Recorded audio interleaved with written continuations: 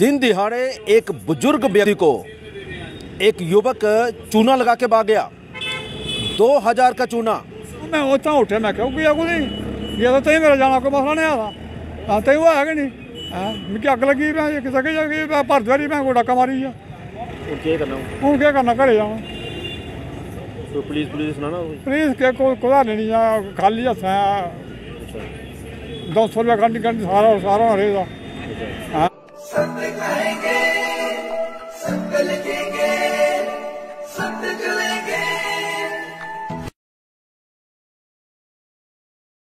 दैनिक शेर समाचार में आप सभी का स्वागत है। मैं हूँ अरुण शर्मा।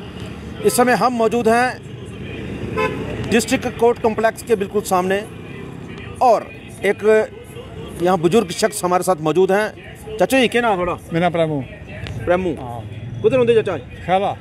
खेला। ख्याला ਹਾਂ ਝੂਣ ਤਾਂ ਖੈਲਾ ਉੱਪਰ चुनून तक थल्ले ਹਾਂ ਝੂਣ ਤਾਂ ਉੱਪਰ ਹੈ अच्छा के के के गल हुई बड़ा ਇੱਥੇ ਕੋਈ ਮੇਰੇ ਕੋਲ ਬੈਠਾ ਹੋਈ ਇੱਥੇ ਮਾਰੇ ਨਿਕਲਾ ਖੜਾ ਹੈ ਗੱਡੀ ਖੁੱਤੀ ਮੇਰੀ ਇੱਥੇ ਗੱਡੀ ਨੂੰ ਖਵਾ ਦਾ ਕਿੱਥੇ ਚੱਲਣਾ ਘਰੇ ਔਰ ਤੇਰਾ ਕਰਾਂ ਚਾਂਗਾ ਉਸ ਮਾਸਕ ਲਗਾ ਮੈਂ ਕਿਹਾ ਤਾਂ ਮਾਸਕ ਪੁੱਟਾ ਸੀ ਮੇਰੇ ਮੇਰੇ ਉਹ ਦਾ ਡਰ ਪੜਾਈ ਆਵਣ ਨਾ ਮੈਂ ਕਿਹਾ ਚੱਲ ਸੰਦਾ 2000 ਦੇ ਦਾਂ ਉਹ ਤੇ ਦੁਕਾਨ ਆਈ ਜਾ ਮੱਟੇ अच्छा ਅਬੇ ਤਾਂ ਦੋ ਮਿੰਟ ਹੀ ਖਲੋ ਚਾਹੁੰਦਾ ਜੀ ਚੱਲਾਣਾ ਕਿ ਨਹੀਂ ਉਹ ਇੱਥੇ ਇੱਕ ਕਿਸ ਹੋਇਆ ਮੇਰਾ 2000 ਲਈ ਆ ਮੈਂ ਕਿਹਾ ਮੇਰੇ ਪੈਸੇ ਆਣ ਕੇ ਮੇਰੇ ਹੀ 2000 ਰੁਪਏ ਤੋਂ ਆਖਿਆ ਮੈਂ ਕਿ ਤੂੰ ਦੋਣੀਆਂ ਹੋਣੀਆਂ ਦੇ ਤੁਹਾਨੂੰ ਕਿਉਂ ਨਹੀਂ ਦਿੰਦਾ ਉਹ? ਉਹ ਦੁਕਾਨਾਂ ਹੀ ਗਿਆ ਜੇ ਕੋਈ ਭਾਈ ਕੋਈ ਗੱਡੀਆਂ ਲਾ ਕੇ ਬੈਠਾ ਕੋਈ ਉੜੀ ਜਾ ਕੋਈ ਉਹ ਗੱਡੀਆਂ ਉਠੀ ਦਾ ਮੈਂ ਉੱਥਾਂ ਉੱਠਿਆ ਮੈਂ ਕਿਹਾ ਕੋਈ ਆ ਜੇ ਤਾਂ ਮੇਰਾ ਜਾਣਾ ਕੋਈ ਮਸਲਾ ਨਹੀਂ ਆਦਾ ਆ ਤੈਨੂੰ ਆ ਕਿ ਨਹੀਂ?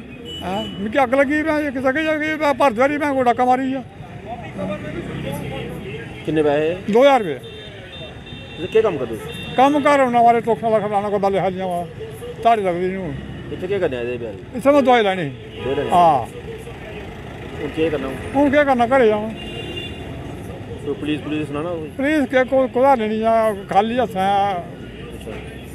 200 ਰੁਪਏ ਕੰਡੀ ਕੰਡੀ ਸਾਰਾ ਸਾਰਾ ਹਰੇ ਦਾ ਹਾਂ ਕੁਤੇ ਹੀ ਗੱਡੀ ਕੁਥੇ ਲੱਗੀ ਦੀ ਉਹ ਗੱਡੀ ਇੱਥੇ ਲੱਗੀ ਇੱਥੇ ਲੱਗੀ ਚਿੱਟੀ ਗੱਡੀ ਹੈਗੀ ਕਾਰ ਹੀ ਕਾਰ ਹੀ ਤੇ ਉਹ ਮੁੰਡਾ ਕੋਈ ਗਿਆ ਕੋੜੀ ਛੱਡ ਹੁਣ ਉੱਥੇ ਹੀ ਚੇਸ ਗਲੀ ਚ ਖੜ੍ਹ ਇਸ ਗਲੀ ਗਿਆ? ਹਾਂ ਅੱਛਾ ਅੱਛਾ ਹਾਂ ਆਉਂ ਸੋ ਹੋਏ ਰਿਹਾ ਇੱਥੇ ਭਾਈ ਕੋ ਜਾਉਂ ਆਏ ਗੱਡੀ ਵਾਲੇ ਦੋ ਗੱਡੀ ਵਾਲੇ ਉਹੀ ਹੋ ਜਿੰਦੀ ਗੱਡੀ ਉਹ ਲੈ ਜਾਂਦੇ ਆਉ ਲਈਏ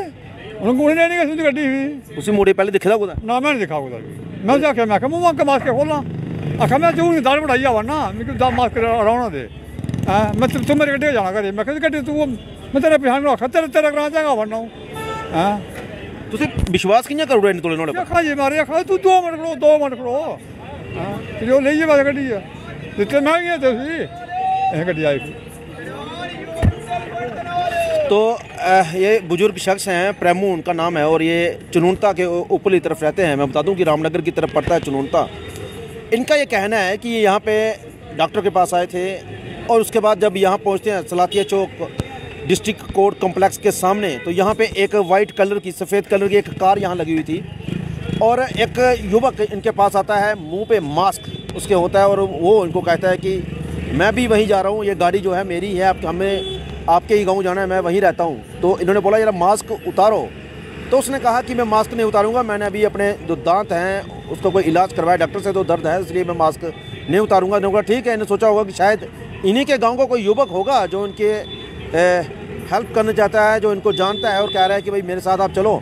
और उसी समय कुछ कहता है कि मुझे कुछ पैसों की ज़रूरत है, दो हज़ार रुपये मैंने यहाँ पर देने नीचे दुकान में, और मैं गया और आया। जी हाँ। गया और आया, लेकिन गया, आया तो नहीं वो। उसके बाद ये वेट करते रहे, यहाँ इंतज़ार करते रहे, उस सफ़ेद कार की, कार के पास की शायद वो आए और कार निकाले। इतने में दो व्यक्ति आते हैं, जिनकी वो कार थी, जो कार के मालिक थे। वो आए, कार में बैठे और चले गए। अब ये शख्स जो है, ये बुज़ुर्ग बेचारे, अब इनको ये इतना तो चल गया पता कि जो कार थी वो उस उस इंसान की नहीं थी, उस युवक की, उस शख्स की, उस चूना लगा लगाने वाले की नहीं थी। जब इस गली की बात करूँ मैं मैं कैमरामैन को कहूँगा, ये गली दिखाएँ ज़रूर आपको। इस गली के अंदर वो गए हैं, जब उसके बाद ये जहाँ जाते हैं तो खैर, उसका मिलना तो नामुमकिन था। अब वो तो रफू चक्कर हो गए, ये गली कहाँ कहाँ निकलती है, ये तो अब ये गली जानती है, और यहाँ के जो उधमपुर में लोग रहते हैं, वो भी जानते हैं कि ये जो गली है, ये बहुत से रूट पकड़ के आगे पीछे निकलती है, और वो युवक जो है, जो चूना लगा के छू मंतर हो गया, अब वो भी पता नहीं कहाँ चला गया। बड़ी बात तो ये है कि ये जो बुज़ुर्ग शख्स हैं, ये उस युवक को बिल्कुल भी नहीं पहचानते हैं कि आखिरकार कौन है। अब दो हज़ार का चूना इनको लगा दिया है ये बेचारे घर में ही होते हैं कोई कार्य भी नहीं करते हैं गरीब हैं। और देखिए कैसी कैसी मानसिकता है कैसी कैसी सोच है ऐसे लोगों की जो एक गरीब व्यक्ति को भी नहीं देखते। इन गरीब लोगों को चूना लगा के चल जाते हैं। चाचा जी के काम इयाँ घर के काम कर दो कर के चोखा खाना बंदे खाने को बस। काम करना? पर डंगर क्या रोटा रोटा काम होता हाँ। उस मुंडे ने कपड़े किने मारे कपड़े पे जीन्स पैंट पा दी जीन दी पैंट। हाँ कमीज पा दी। किने रंग दी भला? कमीज उसकी चिट्टे रंग की पा दी पैंट और जीन्स पैंट ये नहीं लगी उस। अच्छा हाँ टोपी लगी सर उस।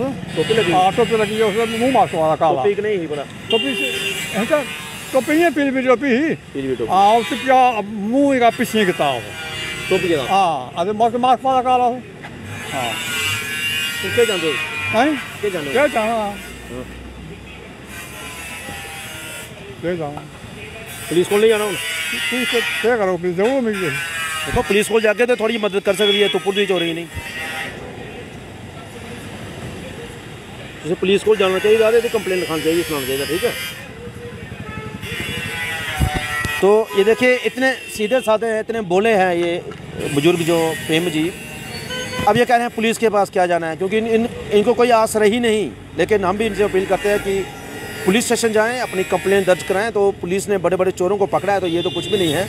लेकिन, फ़िलहाल, हम भी उन लोगों को अपील करते हैं, जो लोग इस खबर को देख रहे हो, जो होली उन्होंने बताया कि जीन्स की ब्लू पैंट डाली हो, शख्स ने वाइट शर्ट है येलो कलर की एक कैप, टोपी है, उल्टी पहनी और एक काले कल- रंग का मास्क डाला हुआ है। बहरूपिया बनकर पहुँचा और इस बुज़ुर्ग बेचारे को लूट के चला गया। ऐसे लोगों को शर्म आनी चाहिए और फ़िलहाल हम भी चाहते हैं कि अगर ऐसे लोग मिले तो इन्हें कड़क से कड़क, यानी सख्त से सख्त सज़ा मिलनी चाहिए। फ़िलहाल मुझे और मेरे कैमरामैन को दीजिए इजाज़त।